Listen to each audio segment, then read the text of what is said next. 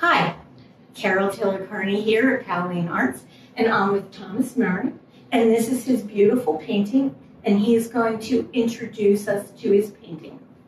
Oh, hi, I'm Thomas Murray. I'm an artist and, and a musician, and um, the painting Avion is uh, this series is started with the pandemic. As I began losing, it's kind of serious. I mean, in, in one sense, it's a whimsical painting of a paper airplane. In another sense, it's letters to people that have gone away. Mm-hmm. And doesn't mean died, but certainly the idea of being separated from friends and family and the way we write letters or think of think of them. And when each of these paintings was made with the idea of holding somebody in my mind and making the painting along with them. Oh, That's really that's interesting. very, yeah, I like the idea that not only are they your muse, but in some way the muse is an active muse. Well, and it's conversational when you're collaborating. Like, a conversation is a collaborative process, and we don't necessarily think of writing letters as that, but it is one of the ultimate collaborative. Mhm. Correspondence was one of the ultimate collaborative processes. Absolutely. And the idea that in my head there's always voices. Oh, paint like this, pain like you know, tutors, mentors, people Yeah. I really look up to. And um, and letting those people go and allowing somebody into this studio space, this mental space that is not so much critical as can be playful, honest, discourteous, courteous. It runs the, it runs the gamut. It- Which, in a lot of ways, your painting's doing that too. On the one hand, I, it's this atmospheric space that I'm not sure if it is atmosphere, metaphor, smoke, what's going on. Then this very solid but moving airplane, and then all of a sudden, I have three red lines. Can you say something about? The the three comes ha, has been with me for a while, and it came with it in a residency in Assisi. Mm, So I was hanging out with Saint Frank and the monks up there. and all the little animals that he loves. All the little animals, the birds and the boars. You know, hopefully you don't see a boar when you're walking through the mountains. And there are three knots that they have on their on their rope yeah. that they use around their that they tie every morning. They have the the the knots of poverty and chastity and obedience. Right. There used to be a fourth, and it had something to do with stability, but they were always moving, so they let go of the fourth. They weren't dependable. And certainly the Franciscans had their problems and issues Yes. in their relationships with, with people. and Um, with the church. and with the church? I didn't know that. Yeah, yeah.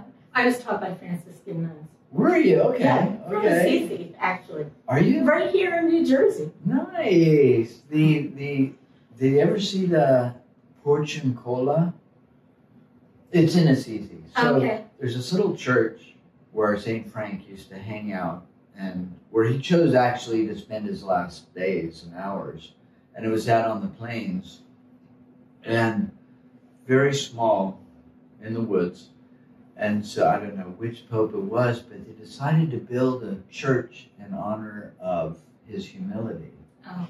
It was huge. It was this is the most humble person ever. Stand up and be humble. And the There's, you can see the crowd going, yes, yes. and it just seemed like it missed the point to me. Um, and I did an exhibition in South Texas that was all about the Porziuncola and this kind of Right. flip flopping and and um, yeah, because they go back to three simple tenets, and so like right, You like- right. not usually something you associate with a giant church. absolutely, yeah. and then there's the whole prayer of St. Francis of Assisi, make me a channel of your peace. Which wasn't written know. by him. No. It was written by I don't know. It was found in a in a church in was it in Holland or or no? I'm wrong about that. But it wasn't written by him. No, no. I think what happened is um, the quote, make me a channel of your peace, pro- came from him. And then after that, and get me a loaf of bread Yeah. and forgive those who put trash in our baskets. And right, so it yeah. Well, that's what happens when you're a hermit. You know, you But I live think off, that that's- you live off the land till you can't. But I also think that it's really appropriate, like the saying, make me a channel of your peace, even if you didn't say it for this specific piece, Yes. because there is something peaceful in the conveyance. I'm glad. I'm glad that you see that. It's, Yeah. It's part of, along uh, coincidentally with this series, is a um, series I did about. Um, there was Dante and Virgil, Oh, and so we love Dante, and we love, but I didn't get his politics. Like anybody he was upset with, they got a, their own level in hell, Of course. right? It's like even Plato and Socrates, right? What are they doing in hell? Um, not agreeing with Dante. Not agreeing with Dante, right? and certainly Dante had had some things, but um, so I did a series about Virgil, and this is also pandemic related in that how do I help somebody? A buddy of mine was talking about um, Joseph, Mary and Joseph, Mary and Joseph, as my grandmother would say, and Joseph, who's like, who, who is he? Oh, he's a he's a father, but or the dad, but not really the dad. Blah blah blah. Well, you know, God's. Yeah, and my buddy said, well, you know what? Joseph was a stand-up guy. Yeah. Mhm.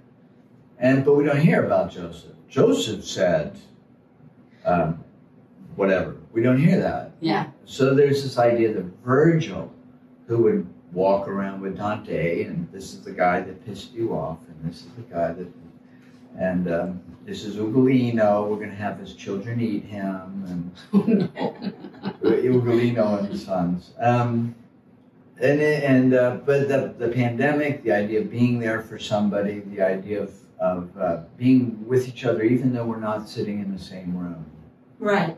I think is is a challenge and something that uh, that we need to focus on. And the idea of, of landscape or place.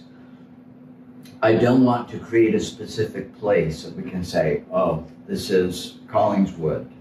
Right. I don't want to say this is a, a place. I want to talk about a space that we all inhabit. Yeah. Which is what you did with this very atmospheric area. And it, I take it then what then are the red lines? Are they grounding? Are they something that pushes the viewer back? They were grounding for me. Okay. They were grounding for me when in this dialogue Mhm. that I'm having. I'm like, okay, I'm creating space but no place. Right. And I'm feeling uncertain. I'm like, I want a red line there. Well, then I want two more. Okay.